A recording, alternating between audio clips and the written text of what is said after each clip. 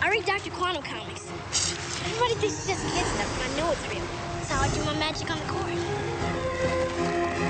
No! what they taught us in school isn't really the way it is. And that our senses are playing tricks on us. You just gotta wonder, what is this reality that we find ourselves in? Quantum physics says it's all just waves of information.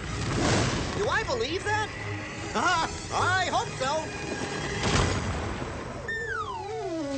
Yikes! That's how I do my magic on the court. Yeah, I always choose the Wonder Boy first. Well, Dr. Quantum says everybody's got it. Everybody's doing it. Doing it constantly. Each and every time you look.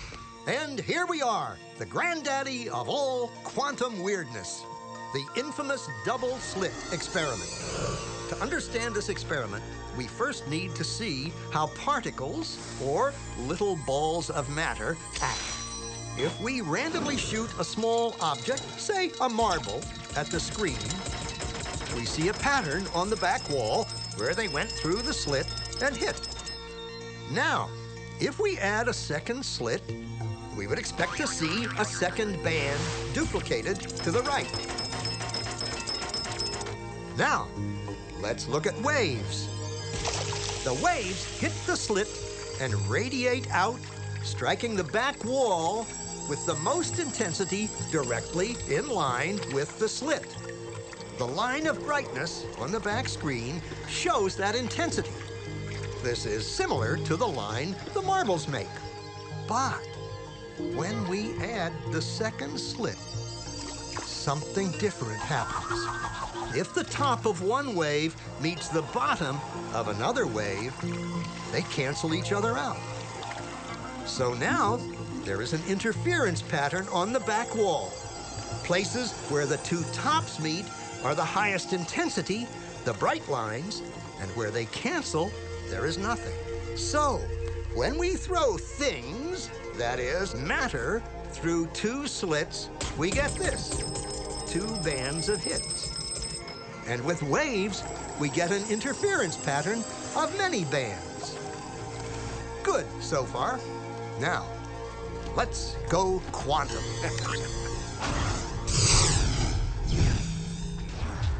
An electron is a tiny, tiny bit of matter, like a tiny marble. Let's fire a stream through one slit. It behaves just like the marble, a single band. So, if we shoot these tiny bits through two slits, we should get, like the marbles, two bands. What? An interference pattern. We fired electrons, tiny bits of matter through. But we get a pattern like waves, not like little marbles. How? How could pieces of matter create an interference pattern like a wave? It doesn't make sense. But physicists are clever. They thought maybe those little balls are bouncing off each other and creating that pattern. So they decide to shoot electrons through one at a time. There is no way they could interfere with each other.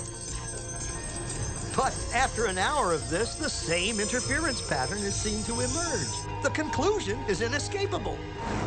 The single electron leaves as a particle, becomes a wave of potentials, goes through both slits, and interferes with itself to hit the wall like a particle. But mathematically, it's even stranger. It goes through both slits and it goes through neither. And it goes through just one and it goes through just the other. All of these possibilities are in superposition with each other. But physicists were completely baffled by this. So they decided to peek and see which slit it actually goes through. They put a measuring device by one slit to see which one it went through and let it fly. but the quantum world is far more mysterious than they could have imagined. When they observed, the electron went back to behaving like a little marble.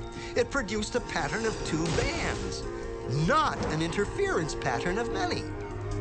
The very act of measuring Or observing which slit it went through meant it only went through one, not both.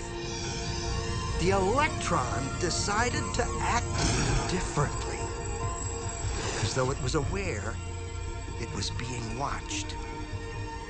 And it was here that physicists stepped forever into the strange, never world of quantum events.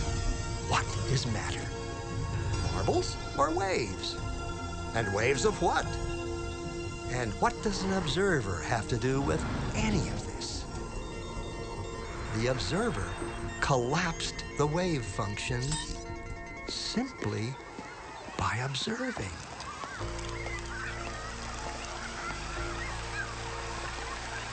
We are always the observer. But sometimes we identify with the event so much so that we even lose the aspect of the observer. That's why the materialist gets totally lost and thinks that we could do without the observer. The physics data tells us that, the, that an object itself is really a, a simplification for what we call out there.